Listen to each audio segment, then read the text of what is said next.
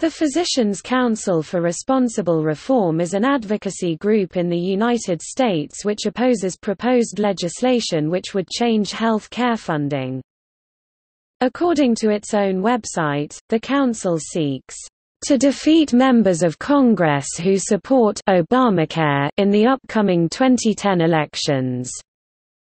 The group, created by U.S. Representative Tom Price as a front for the National Republican Congressional Committee NRCC, solicits physicians throughout the U.S. for donations, by sending faxes and letters containing different lists of 100 names of physicians, implying to the target of the correspondence that the other named physicians have already chosen to join the council.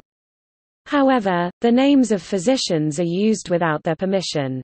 Since June 2009, the NRCC has raised more than $1. 2 million this way, and smaller news outlets have run articles claiming their local physicians are among only 100 individuals chosen to serve on the council.